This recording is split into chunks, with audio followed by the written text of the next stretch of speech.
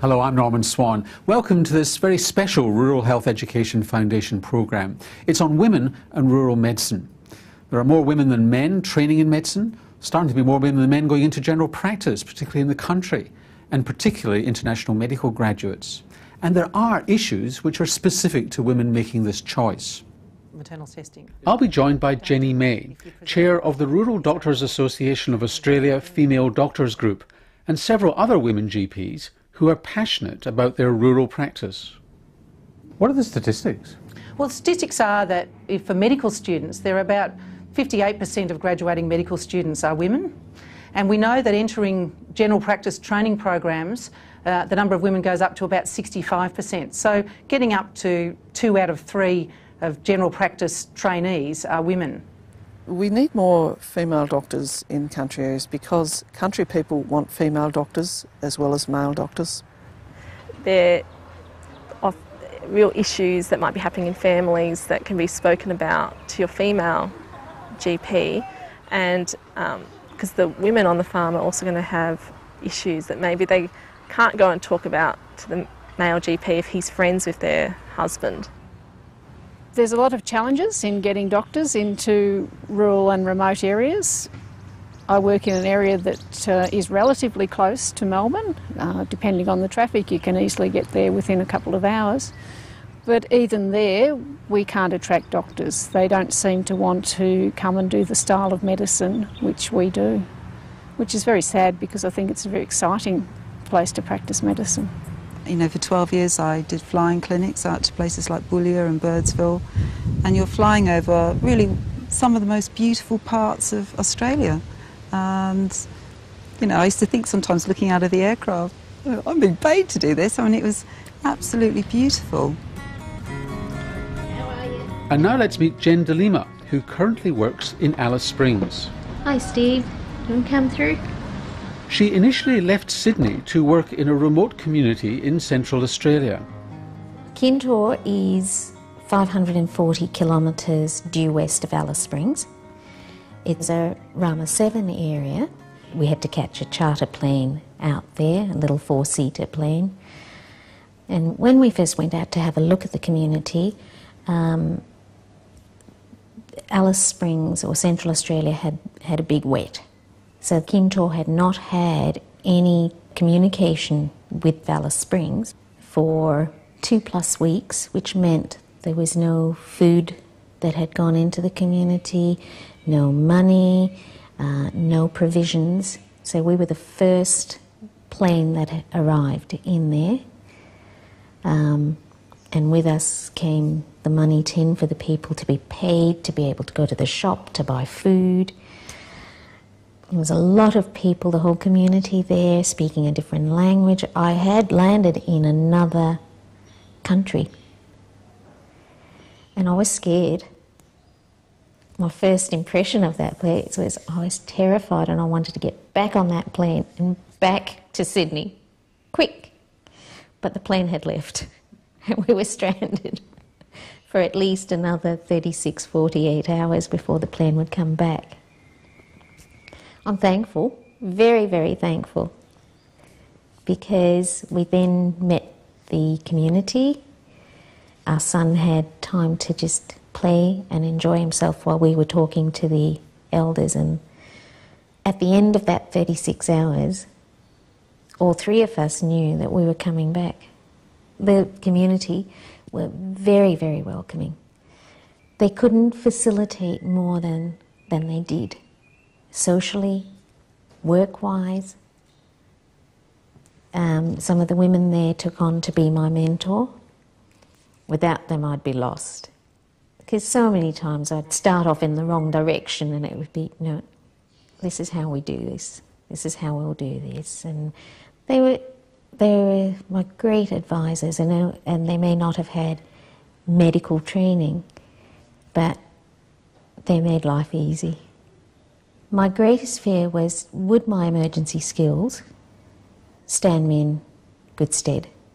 Could I actually manage without all the props of an emergency department, all the facilities, the amenities, the other staff? Um, could I do it? would I ever be able to go to a proper third world environment and survive and be useful? I've always been a city person, so general practitioner was the general practitioner in the city who did the start of things, never got their fingers dirty, never got to do things. And so that could never be me. But going out to the community, the um, generalist medical practitioner does everything. You've got the emergency medicine stuff, which you know sets your adrenaline on fire, but then you've also got that patient, their background, their home. You, can, you have the potential to do a door-to-door service. You know, you're involved in the transport. You're involved in their social situation, you're involved in their financial situation, you're involved in every aspect of that person. Because you've got Rotary tonight. I'm going to Rotary. Paul was studying school with School of the Air, but that requires an adult to be a tutor with the child and take them through, especially through primary school. And that was Peter's prime role. So he was Paul's tutor, and Paul had not been doing that well in Sydney with his studies. Um, and this child just blossomed.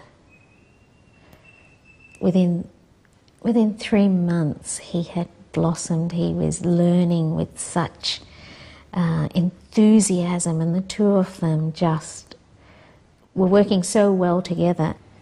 I think it's a great opportunity for children, and it takes them outside of their um, their comfort zones, as it does for, for most people that take on a new position or whatever. Um, so, you know, Paul was readily accepted into a group of young Aboriginal boys and girls, and they just disappear for hours, and, and quite often we wouldn't see them from sunrise to sunset. And when we quizzed them as what they did all day, they were just roaming around the bush and the sandhills and um, you know, eating native foods and berries, and even to the point of you know, catching birds and having them for lunch. Yeah, it went really well. It had a very positive um, effect on him, and also um, I think now that he's 16, uh, we're seeing a high level of independence in him um, and self-resourcefulness, um, and I I'd put that down to you know those sort of experiences. I think we realised that we were going to be never returning to Sydney as our home, probably within that first year of being out at Kintore. For our family, it was where we needed to be, the space we needed to be, the lifestyle that we wanted. Um, for Paul, I couldn't better his schooling. And that, I suppose for me, that was number one. I could not better his schooling.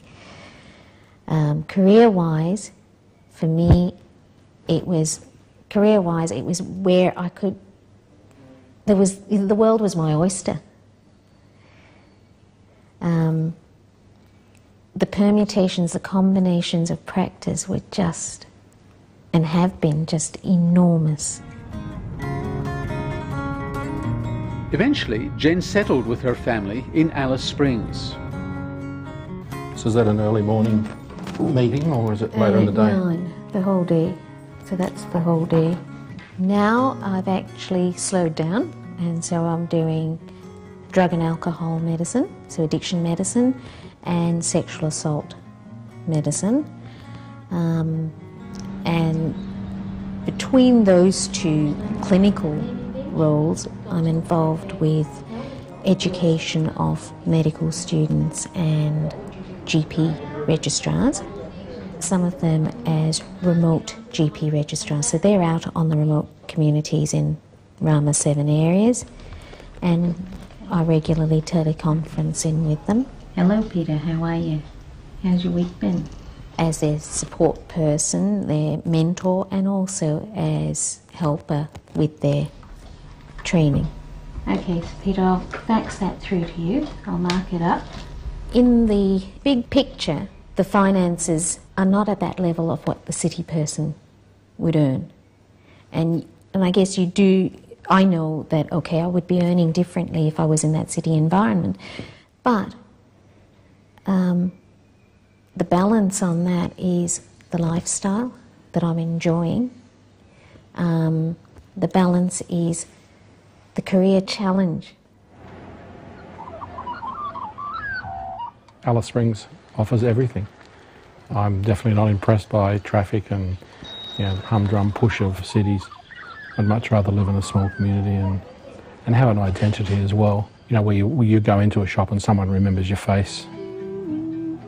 The ability to use your time, every moment of your time is valuable time. Every activity you're involved with can be a quality activity rather than sitting in the car for two and a half hours driving. I have a bicycle as well. I'm getting myself coordinated in cycling, and you know, it's lovely to be able to cycle to work. And there's no smog. And as I'm, you know, not a hugely confident person in these sporting arenas, um, for me to be able to do that is a huge step outside the box. Hi, Steve. How have you been? Oh, good, thank you. Good. For someone who really wants to practice medicine in its purest form, that is, be a health healer, stroke carer, this is the environment that allows you to do it. To look after your patient as a whole person that links with their community. Sleeping well? Yes. You can't do it in any other environment, I don't think. This is where people are in need, and I can make just a tiny difference. Bring that humanity, bring my skills, bring whatever little I have to offer. Because you get that, and you know, the city has lots of doctors, lots of services, lots of everything in comparison. And this is where you got that match between what you went into university to study, to do, and you can do it. What do you think are the key issues for women thinking about general practice or women in general practice in rural areas? For women in rural practice, there are a variety of options, really. Um, and the, I think the other really important message is that being part or being a, a general practitioner in a rural area is not a decision you make for the rest of your life, but it's something that you might want to consider. And certainly, many of us have had very enjoyable and um, challenging careers working in rural areas. But isn't that part of the problem that people see it as a four-year option, and then when the kids get to high school, you go back into town? I don't see that as a huge problem. I think coming to a rural area for four years, often people come for four years and then they stay and they think of other ways of doing it. But I think coming for four years, um, having you know the experience of living in a rural area and, and the experience of living in a rural community, uh, four years is not a bad bad chance or, or a bad time. Obviously, personally, um, you know, if you do enjoy um, being down the road, living in the inner city, um, to the drone of the traffic and the uh, and the aeroplanes landing every 60 seconds, then you're going to miss that um, because rural areas are definitely quieter. But um, and it, I guess it depends also on your partner or spouse. If if they've got a job that is untransportable to a rural area, even for for a short period of time, obviously those decisions are very difficult. Are there a preponderance of husband and wife practices? You know, anecdotally there are, but there are equally a large number of women who elect to go to country areas and rural areas as single, as breadwinners, as the major partner bringing in the income, and often, you know, are happy to have a partner who's happy to help with childcare and do, and even work part time. My husband was a teacher originally. Uh, he elected, or we, we decided that uh, he would be the main person at home and I would go out to work. And so he stayed home, brought up the children, and has seen no need to go back teaching. I actually went to medical school in Newcastle, met my husband who came from Tamworth um, there, and did some of my training in Newcastle, some of my residency in Newcastle, and then moved with him back to his hometown um, after we had our first child. And did he do medicine? No, he actually is a civil engineer. So we sort of waited in Newcastle until he'd organised um, some work that suited him and uh, moved back to Tamworth to be closer to some family support when we had a little child. I work with my husband. Um, he also is a, is a uh, GP rural doctor. And um, yeah, so we moved to Camperdown 18 years ago when we had just one child.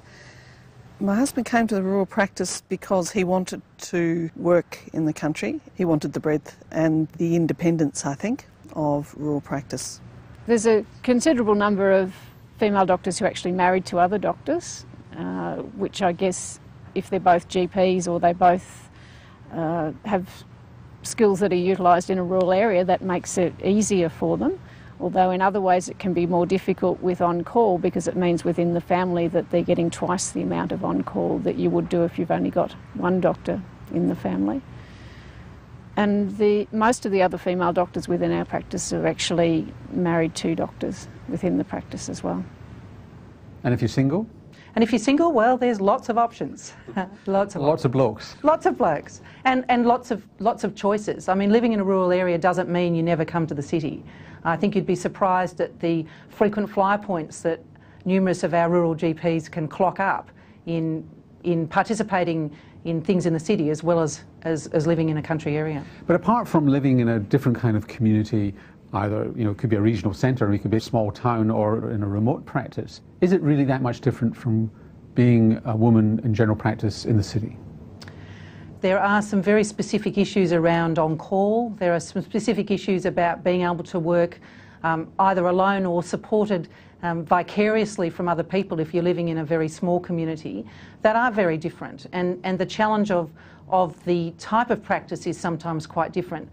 But but the mechanics of general practice are the same whether you're living in Sydney or whether you're living in Bourke.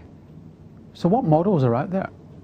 Look, there's a range of models, and um, they vary from obviously in remote locations living on site, but also some fly in, fly out models that we're seeing increasingly to service more remote um, locations. One of the practices to, to consider is Sheila Cronin, who is providing a fly in, fly out service to Cloncurry in Queensland. And she's based? And she's based on, on the Sunshine Coast. I sort of practice in two locations really. I spend some time working in Cloncurry, uh, which is uh, an outback mining town. Um, it's near Mount Isa. I spend, um, uh, over the last three or four years, I spent most of my time working there, but recently I've, um, I just work there part time. The, the, rest of the time I actually work on the coast, um, on the Sunshine Coast, which is nearly 2,000 kilometres away. Cloncurry's had a major problem with doctors over the years, and um, my um, I start uh, the reason I actually went there was that my husband uh, is uh, had started a business there, and uh, which he and he involved in visiting Cloncurry, and um, I, we just thought it was an opportunity to try and actually do something with Cloncurry. So uh, basically, with some friends, um, some other medical friends, we decided to tackle Cloncurry and see if we could solve the medical uh, workforce problem there by applying uh, principles uh, which we knew would work um, to actually attract young doctors. From a situation where three years ago there was one locum doctor trying to look after a hospital and a, and a community of 5,000 people totally on his own, being on call day and night, and going, you know, really almost uh, crazy with tiredness, we now have a situation where we have between four and five doctors um, in Cloncurry. We have a brand new facility. Uh, we teach medical students. We have registrars, and that's what we've done. Doctors are working differently uh, nowadays, and uh, in fact, in our, our, our, practice in Cloncurry, we have several doctors who um, who fly and fly out. And the fact is, is that if you do provide uh, good housing, um, proper on-call rosters so that people are only on call maximum one in three. You do provide training and you do provide excellent facilities. You can actually attract doctors and I think we have proved that. If we come into some of the, the larger communities, we might consider something like Alice Springs working in an Aboriginal medical service. Aboriginal medical services and similar services are, are good models often for women who don't wish to, um, you know, pay large amounts or buy real estate in rural areas, understandably, because obviously it's a walk in, walk out model where you can negotiate often a salary or a percentage or a way of practicing or, or a way of being remunerated for your practice that works um, better for you, particularly um, giving you more flexible hours. I tell you about a practice that I used to be in with my husband and another female practitioner in Tom Price in Western Australia. The three of us worked part time. The three of us worked 0.5 each. So we did provide an on-call service. It was a one in three on-call service for the hospital, but at, at no time were we expected to be in the surgery at all times doing the job. Now you're right, when the chips were down, all three of us would be at the hospital if there was an emergency. But the expectation was that we would support each other and the community would keep their expectations reasonable that all three of us could sustain living in the town. And we were able to live in that town for four years under that arrangement. And other industrial issues, for example, if you're going to go into somebody else's practice? There are, Norman, and what we know from the, from the statistics is that women have longer consultations and they earn less than men. So you need to go in with your eyes open, um, working out what value you put on your services, the way you practice, and the skills that you're going to bring to a community. So you might be better on a salary than fee for service? You may be, or you may want to negotiate a fee for service arrangement with a baseline or with an understanding of, the, of those skills that you're bringing to that practice environment. What other things do you think are key negotiating points if you're at the point of choosing a practice? What, do you look, what should you be looking for and what sort of things, apart from the ones you've just mentioned, should you be negotiating? Well, most women are looking for flexibility. Uh, women remain primary child carers. So it may be that you do want to go to the sports carnival or that if there is an appointment or, or something to be arranged for someone, you want to be there. So inherent flexibility, um, school holidays, those sorts of issues, which are difficult with on-call arrangements, are the sorts of things that you might be bringing to the table as, as key things to negotiate. Because everybody wants those off. That's right. Everybody wants school holidays. The other difference, which we probably should have mentioned earlier, with metropolitan practice is that you get to do much more procedural work. You can, and that is the challenge in terms of, of many rural practices. Well, it's also part of the fun, isn't it? That's right, that's right. And it's part of the choice that, that um, being able to provide a procedural service, be that obstetrics, be that anaesthetics, be that surgery, or be that extended emergency work, is a huge um, challenge, but also a service to a rural community. You can go to work and you really don't know what's going to happen for the day, even though you know you might be set out to have just routine appointments at the clinic. The people who come to see you can have a wide variety of issues that you're going to deal with, or it may be that something completely unexpected happens and you end up doing something that you really imagine you would be doing at the start of the day. So I think that's been one of the, uh, surprises one of the things that keeps me going in a rural area. In accident and emergency, um, a lot of people seem to uh, not like that standing thinking, okay, the ambulance is just called, I've heard that there's somebody coming in uh, who's chopped off their hand. What am I going to do about that? Um, but I actually find that really stimulating. I, you know, it's amazing what you can remember actually when when um, when you're standing there, um, and and it's a great feeling when when you finish that job and you can stand back and say, I did that. I did that well, I think. Um, we do uh, minor operations, uh, so minor ops, removal of skin lesions and so on. N- none of us are actually GP obstetricians or GP anaesthetists, but we do provide um, uh, VMO care for our patients in the hospital setting for palliative care. We have nursing home patients and we admit to the local hospitals for simple um, illnesses. So we have that. All of us also have um, other areas of interest that we work in. So we work in general practice, but we have other sort of specialist interests. So one of my colleagues, Carmen, she's a medical educator part time. So she works with the registrars in the in the region. She's also a lactation consultant with a special interest in that area. Um, Gillian Rawlings, who's the other partner, works um, at, again in um, training medical registrars, but also she works on management committees and provides her expertise in that area. And I happen to work in sexual health and uh, with S100 um, prescribing rights in HIV in that area as well. Doing general practice placement last year in Leeton, there, um, the GP she did anaesthetics um, she was also did obstetrics. So one day we're in surgery while she was doing the anaesthetics for the surgery. The next day she was delivering some babies, and then the next day she was back in her practice seeing patients. And the just the diversity about it, that range of experiences and skills that she had, and she was highly like skilled and had done many extra courses to be able to develop those skills. Um, I just think that's an exciting thing to be able to do. And I believe there's a preponderance of women in international medical graduates as well. Yes. Um, both Australian medical graduates and international medical graduates entering rural training schemes uh, are more likely to be women. Okay, well, let's now go to a rural practice in South Australia where there are two women GPs, one of whom is an international medical graduate. Barmera is about 250 kilometres northeast of Adelaide on the Murray River. Uh, has a huge, beautiful lake, Lake Bonney, which you can yacht on, you can windsurf, and the birds are, well, we take the birds for granted, but everybody else notices the birds. It's a population of about four and a half thousand. Uh, we service about 6,000 because there's quite a few small little towns around us. Plus, there's the Riverland's actually five towns all around about the same size. So there's sometimes we see people from other towns as well, and they see our patients as well. We have uh, 3.25 full-time equivalent doctors here, two full-time male doctors. I work about three quarters time and uh, our other female doctor works about half time.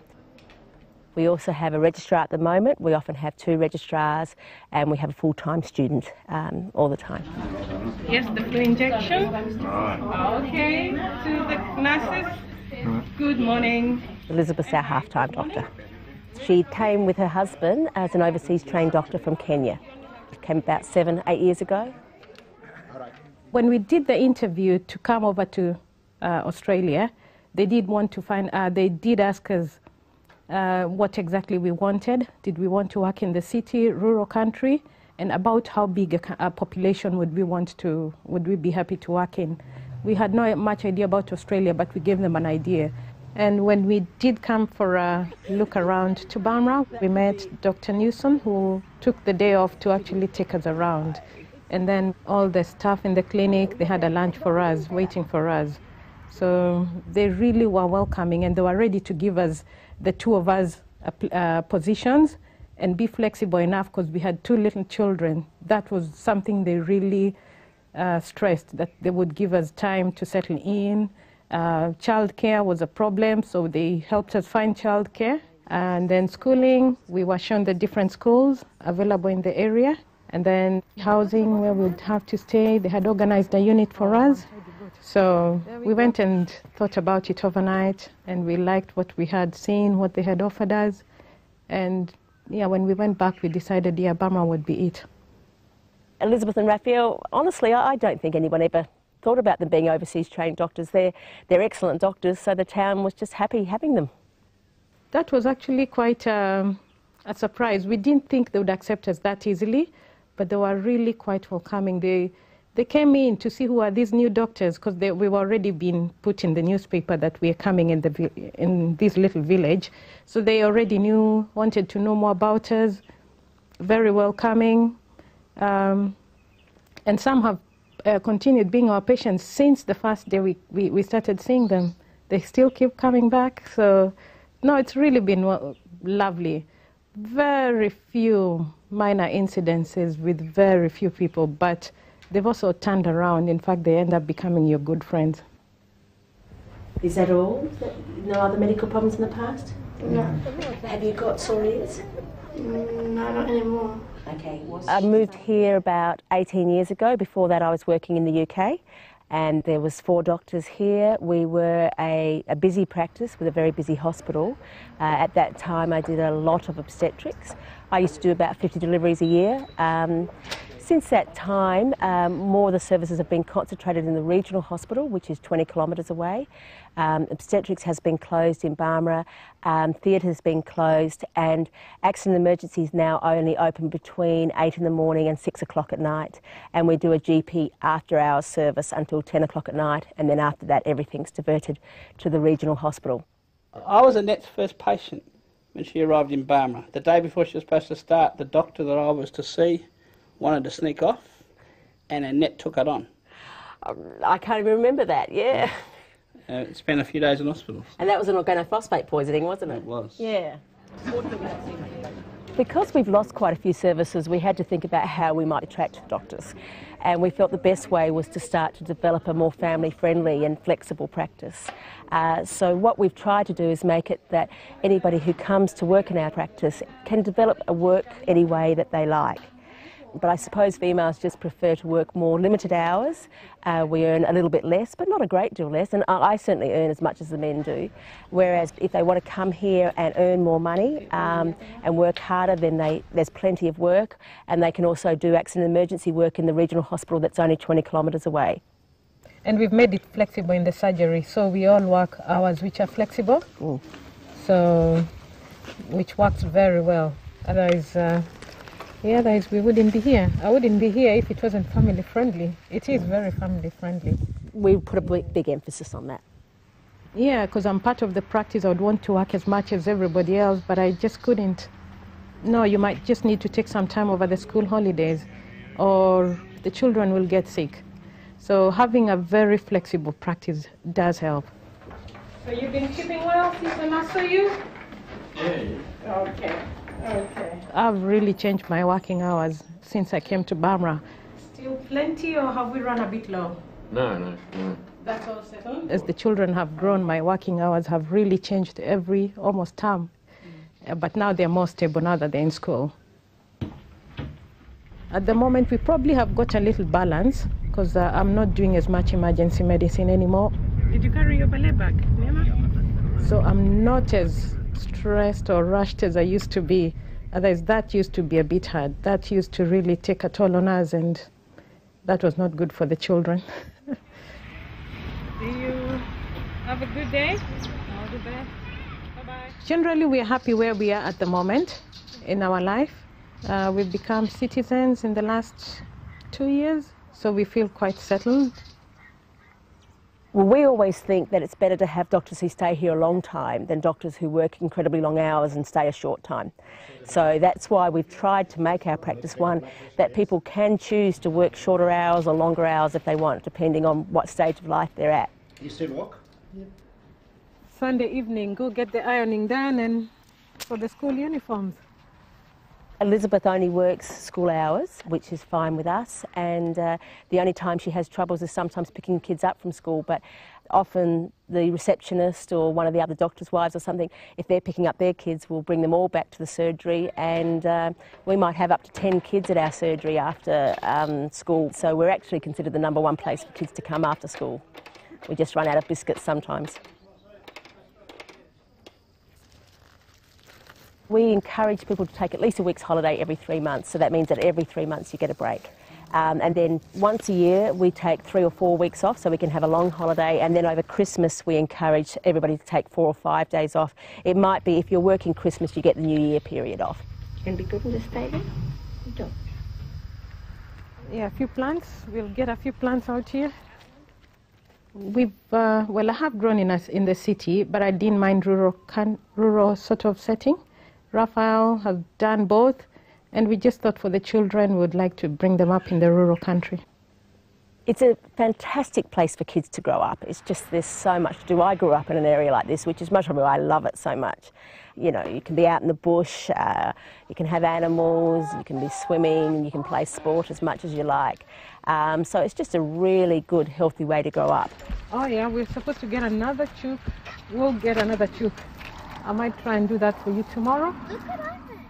We, we discussed once many years ago about uh, why people came and did a, came into rural medicine, and I think it's because I came because I love the lifestyle. That that's the reason why I've stayed here.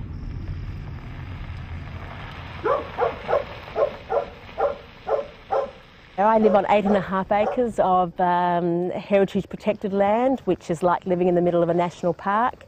It used to have three big lawns, which we've taken out, and we've put in a swimming pool, which actually is water neutral. I have no street lights, so my skies are beautiful, and my, um, well, as you can see, the weather's just magnificent. Because I'm single, I actually like going back to Adelaide a lot. So every second or third weekend, I actually drive back to Adelaide. And uh, if you do the maths, because it only takes me seven minutes to get to work, um, I've worked it out that I could drive to Adelaide every weekend and still be driving less than someone who drives half an hour to work. So people always think it's a long way to travel back and forth, but Actually, I drive a lot less than most people in the city do. I always describe myself as a city girl in the country because I do like all the city luxuries. I go to Melbourne every couple of months and I go to Sydney twice a year. So, you know, the way we've set up the practice, you don't miss out on anything. And it's just a really good life.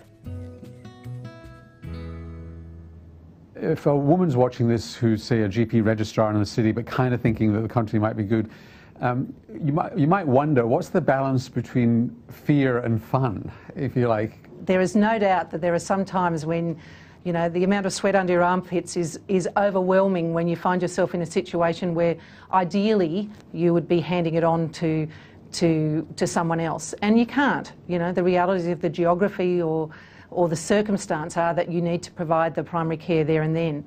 But I have to say that that is a situation in which usually you're never completely alone, and often you're standing with a, a quite senior nurse or other allied health professional, and let's face it, you do the best you can. I guess the other thing about women in practice is most women aren't scared of working in teams. In fact, I think they do it quite well. And rural general practice, um, and often remote general practice, has been a team effort for a long time. So the sense of, of isolation, professional isolation, and lack of support can be counted and, and is being counted in many of the models that might interest people considering rural practice. People like to be treated in their own community and that's that's what we aim to do. So if we identify that there's a need for clinical knowledge to enable somebody to be looked after in our community, we go off and learn that. Um, a couple of months back, I thought, I don't really. They're, they're talking about some new stuff with chronic renal disease, and I don't really know that I'm up to date with that stuff. So I picked up the phone and talked to um, our local division of general practice. Um, professional development manager and said, Can you get somebody up to talk about chronic renal disease? Within a month, we had a um, an event in Camperdown with um, with a really really good um, yeah it was a really good educational event. And they're small so there were four of us with with the one um, renal physician who who really ran a, a question and answer session for us. Say a town like Moree, which is too far away from anywhere else not to have a birthing service, not to have access to emergency surgery, there are some very good collegiate models um, of men and women working in general practice. And it's the sort of place that we can encourage registrars and we can support registrars to learn procedural skills and, and, and not feel that sense of total professional isolation. We're a community. Uh, and we know that we need to support each other in order to continue to work effectively in that community.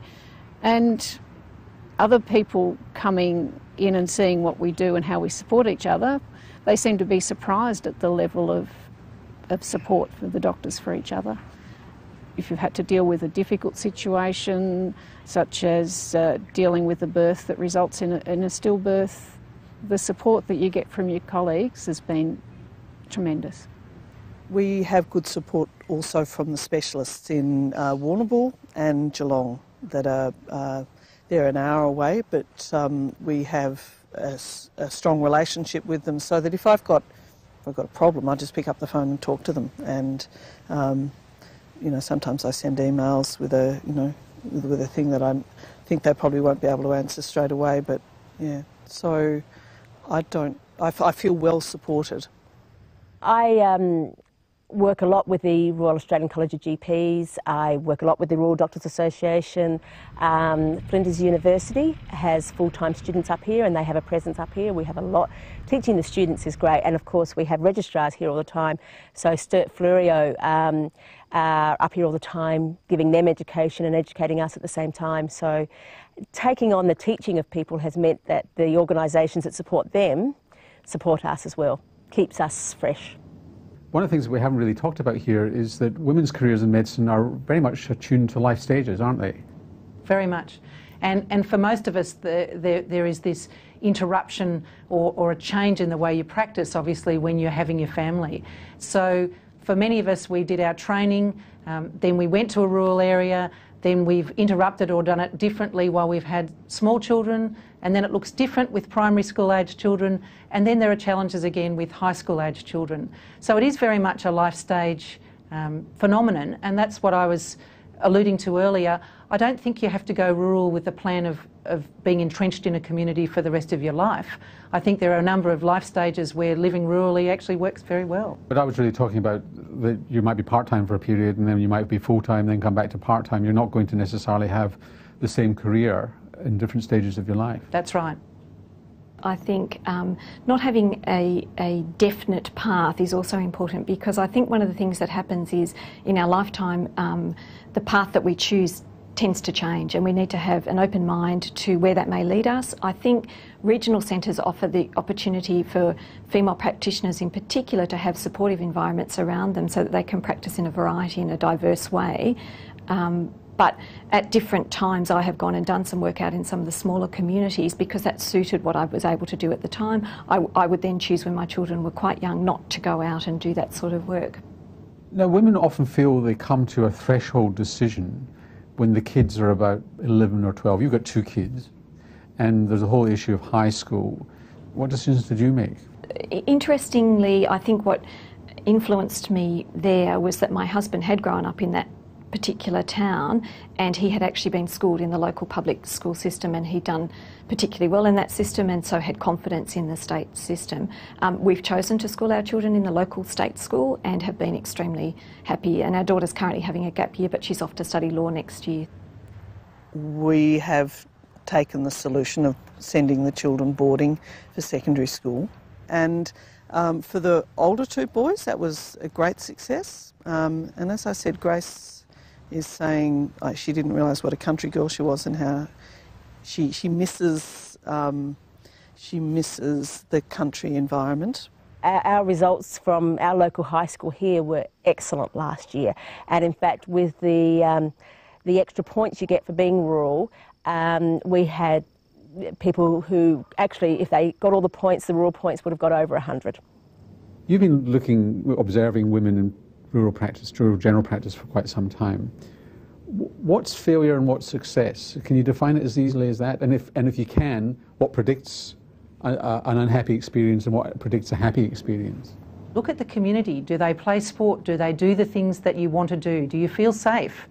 Does, it, does the community um, have ways of you interacting with it that make you feel comfortable? Is it, you know, is it a flyable distance or drivable distance from the significant others in your life. Are there particular issues for single women thinking about rural general practice? Um, again, I think it would be the network that they form when they come, and also if they were going to practice as a solo practitioner, it would be around their involvement in the community and their involvement with others to help give them that support that they would need to maintain or, and sustain practice in a rural community. Um, their own safety may come into play, and I know within our practice we have certain rules around safety, meaning we tend to see after hours our patients are asked to come to the practice where practical uh, rather than doing home visits. We do do home visits where necessary, but where it is practical, the patient is asked to come to the practice from a safety point of view. So those issues would come in for a single woman if she was practicing in a solo environment. Another fear I imagine that women might have if they're going to go to a small town is that the boundaries between work and family are hard to define. What's your experience of how women have dealt with that? Norman, that's a really um, key issue, I think, for people considering rural practice. And I call it the frozen peas problem because it's being because that's all you eat. accosted about the frozen peas, over the frozen peas in the supermarket, about a work certificate or about an issue. It's a problem about living and working in rural communities and defining boundaries. But I think it is, it is, it's a skill and it's something you need to think about, but it's something that many of us have uh, been able to negotiate and manage it quite well.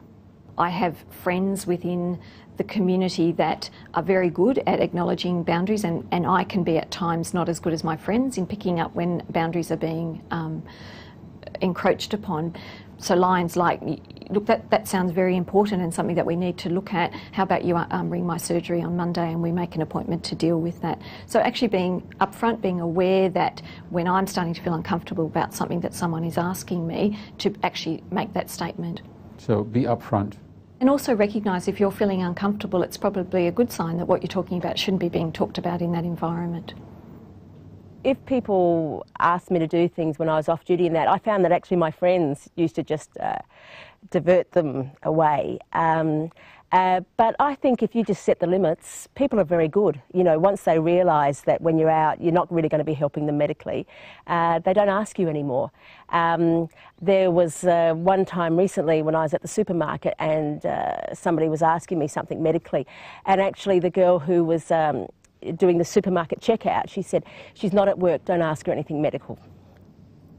But it's, there's another aspect to that balance, which is also the balance between the time you have to spend at work and on call and being able to devote to your family and making those sorts of boundaries clear. How tough can that be when you're in an under-doctored town and there's kind of moral pressure on you to do more work? Norman, you're absolutely right. It is a pressure and it is something you need to weigh up. But what you also need to weigh up and negotiate with the community is your longevity. You can't sustain an environment where the choice that you're making either to, is, is too great. So you're working more than you want to work. You're working more than you think is good for the, your family, your, your spouse, or your um, personal circumstances. One of the problems with rural is that people do feel pressure to work because there's, uh, there's, there is always a lot of work to do, but that's everywhere. Um, so that's why you've got to make a decision yourself how much you do um, and, uh, and stick to that. So we encourage women to negotiate with their communities. It may be better that they're on call three days out of seven and stay in the community than they leave. And those boundaries can be negotiated and, and part-time work and, and the understanding and support for part-time practice in rural areas is growing. It was really nice to, to arrive in town and have, have um, my bosses at that stage saying, choose when you want to work. Um, and um, you know you can bring the baby in to um, you know have feeds. You can you know how can we how can we help? And yeah. so it was lovely. Yeah. So do you have a life outside medicine? Absolutely. so I, I, do, and I think that's one of the things uh, we talked about when we set up our practice. We are part-time practitioners, but our aim was to have a sustainable form of practice, and because we do work part time, it gives me time to, to work in areas of medicine outside it, but also to do things like bushwalk, spend time with my family, which I really, really enjoy, spend time with my church, which I really, really enjoy. And when you look back on your career so far mm. in rural general practice as a woman, what were the best bits? The diversity uh, that I'm able to practice um, the skill based set that I learnt in medical school, I was surprised that I was able to do and am still able to do the diversity of practice within a regional centre. So I have the backup of a local hospital, and I'm, when I'm on call, I'm not necessarily dealing with acute choking children, but I'm still able to care for my palliative care patients. I'm still able to admit someone with pneumonia to a hospital and watch them through the course of their illness. So that has been one of the highlights. I'm passionate about rural health because I think there's so many rewards when you work in a rural area in terms of that you get to know people over a longer period of time and you can build relationships and it's not a person that comes in and you never see them again. You actually get to know them and their family and have a better understanding of the context of their life as well. I think the rewards are um, just a pleasure with you know to, to see that you've solved a problem and made a really big difference to a community. We've thoroughly enjoyed being in the country. We don't regret it at all, and when we keep looking at our options of where we want to be, we don't want to go back to the city, we want to stay within our rural community. We've got a great house. We've got, you know, I can't, um, you know, when you look through those real estate things, I look through and I think, why would I move there from here? you know, and it's a, it's a lovely area. Um, and we've got lots of friends there, so yeah, we, we will retire in Camperdown. The other highlight for me is, is managing patients from birth um, through to now because I've been in practice for long enough. Some of them are having their own children, and seeing that generational care is, is actually extremely rewarding. Being a rural doctor is a wonderful thing, and you can have you can have a great life as a woman doctor in a rural community.